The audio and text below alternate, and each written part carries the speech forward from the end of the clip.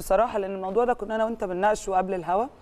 وكنا بنتكلم أنا وكريم شوية عن فكرة الدوريات العربية اللي لسه لحد دلوقتي ما خلصتش. يعني أنت لو جيت قارنت نفسك بالعالم كله هتلاقي تقريبا الدوريات معظمها اللي في العالم خلصت. لكن أنت عندك لسه في الدوريات العربية في تقريبا لسه أكتر من أو ست سبع دوريات حاجة كده، لسه آه، حاجة كده. يعني ما انتهوش. فده بي بيدينا شوية علامة استفهام. ليه؟ لأن الدوري المصري طبعا واحد من الدوريات اللي إحنا بنتكلم عنها الدوريات العربية دي. ناس كتير فسرت لك ده يا كريم قالت لك إن ده بسبب التلاحم بتاع المواسم وغيره إن أنت لحد دلوقتي مش قادر تطبق زي ما العالم بيشتغل فكرة جدول أو فكرة أجندة أو نظام تمشي عليه بشكل مسيستم عشان ما يبقاش في تلاحم بهذا الشكل اللي إحنا بنشوفه. الناس كلها بتخلص آه، يعني في الفصل ده أو في الشهر ده تحديدا الدوريات عشان تدي فترة راحة عشان تيجي بعد كده للميركاتو بتاعهم وبيبقوا مركزين والصفقات الجديدة اللي هي وسوق الانتقالات زي ما بيتقال. لكن انت للأسف الشديد لسه المنطقة العربية عندك معظم الدوريات زي ما أنا بقول يعني تقريبا سبع دوريات عربية آه، لسه للأسف الشديد بعيدة كل البعد عن فكرة الانتهاء.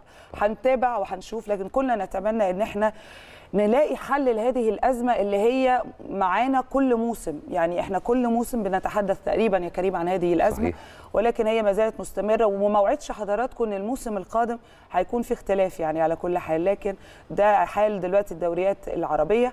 لو إحنا اتكلمنا تحديدا عن الدوري المصري نتمنى إن شاء الله كمان إن يتم يعني الانتهاء منه لأن إحنا عندنا مؤجلات كتيرة جدا لسه كمان الفترة اللي جاية. وهتكلم عن كمان الأهلي تحديدا لسه عندك سبع مؤجلات. صحيح. آم، بيراميدز طبعا هو المتصدر حاليا بفارق نقطتين 62 و 64 لكن على كل حال إحنا ممكن إن شاء الله لو فزنا في كل المؤجلات بتاعتنا نوصل ل 76 يعني نقطة نتمنى كل التوفيق بإذن الله للنادي الأهلي. أصلا الجملة دي أو العبارة دي عبارة تلاحم من مواسم إحنا شخصيا بنقولها هنا في 10 الصبح في الأهلي تقريبا بقالنا آه.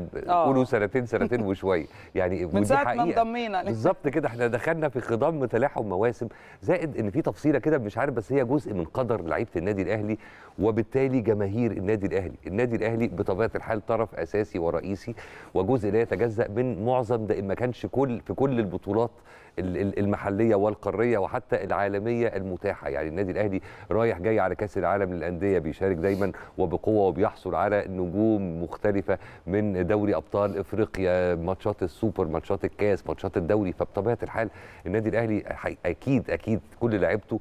ده إحنا كجماهير بنفرهد ورا اللعيبة ورا الماتشات اللي ورا بعض. فما بالكم فعلا اللعيبة والجهاز الفني بيكونوا عاملين إزاي؟ على فكرة زي ما نهاوند بتقول لحضراتكم فعلا مش الدوري المصري لوحده اللي لسه شغال. عندنا أكتر من دوري لسه لم تحسم فيهم الأمور بعد.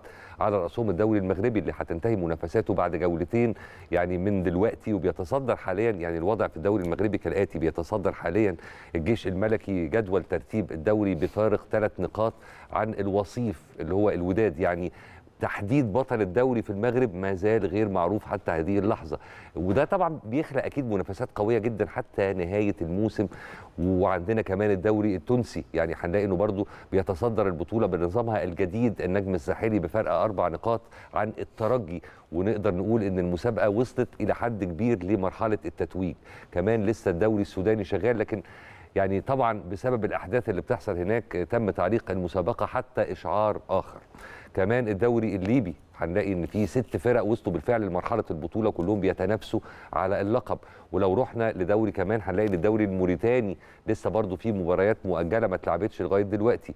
ولو رحنا للدوري الجزائري هنلاقي إن الفرق بين المتصدر الحالي اللي هو شباب بلوزداد والوصيف شباب آه، قسنطينة وصل لثمان نقاط مع تبقي خمس جولات على نهاية المنافسات. فالدنيا لسه لم تحسم أمورها بعد في كتير من الدوريات تحديدا سبع دوريات زي ما انت قلت يا نهوان. يعني نتمنى ال- هنقعد نتمنى آه. الفترة دي. وهم هيقعدوا يتلاحموا برضه. إحنا هنتمنى وهم هيتلاحموا.